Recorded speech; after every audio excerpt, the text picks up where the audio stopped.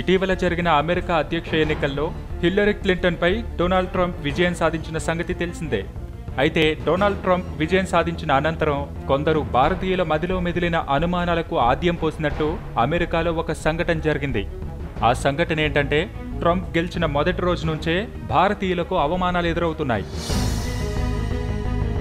దీనిలో భాగంగానే ఒక భారతీయుడు నిన్న అమెరికాలో గ్యాస్ స్టేషన్ వద్ద ఉండగా కొందరు అమెరికన్స్ వచ్చి ఇక మీరు మా దేశం నుంచి వెళ్ళిపోయే సమయం వచ్చింది. మా దేశం నుంచి వెళ్ళిపోండి అంటూ కఠినంగా మాట్లాడారని ఆ వ్యక్తి తనకు జరిగిన అనుభవాన్ని తన ట్విట్టర్ ద్వారా తెలిపారు.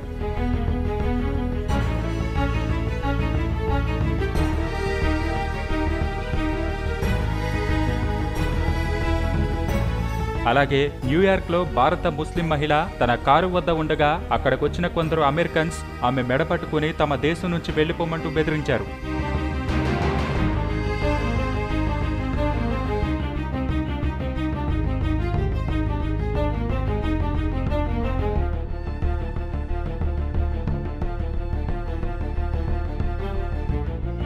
డొనాల్డ్ ట్రంప్ గెలిచిన మొదటి రోజే అమెరికాలో భారతీయుల పరిస్థితి ఇలా ఉంటే మున్ముందు ఇంకా ఎలాంటి పరిస్థితులు ఎదుర్కోవాల్సి వస్తుందో అని భారతీయులు ఆవేదన వ్యక్తం చేస్తున్నారు.